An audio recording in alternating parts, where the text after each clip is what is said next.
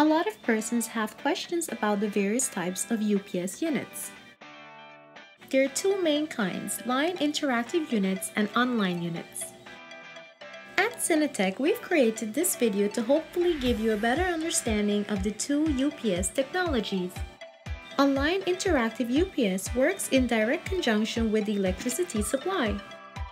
A good UPS unit will have an internal voltage regulator to control the voltage that's being supplied to your devices.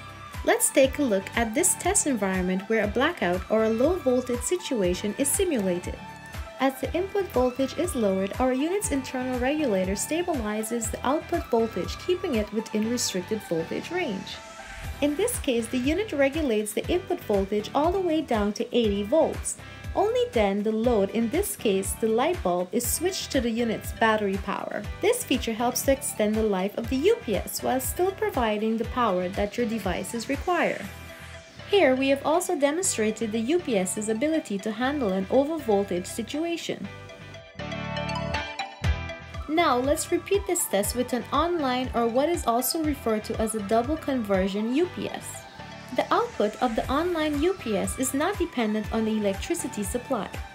As the voltage is turned down, the output voltage remains stable.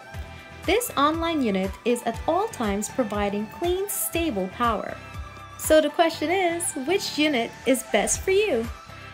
Online units are better suited to electronic devices with sensitive internal components such as servers, networking, and telecom equipment.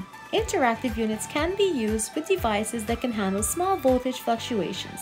These include home computers, home surveillance equipment, cable boxes, and more. If you have a mix of these devices in your environment, it's better to be safe and opt for the online UPS unit.